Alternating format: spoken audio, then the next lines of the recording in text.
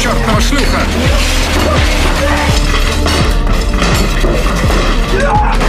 Знаю, что мне пришлось вынести. Через какой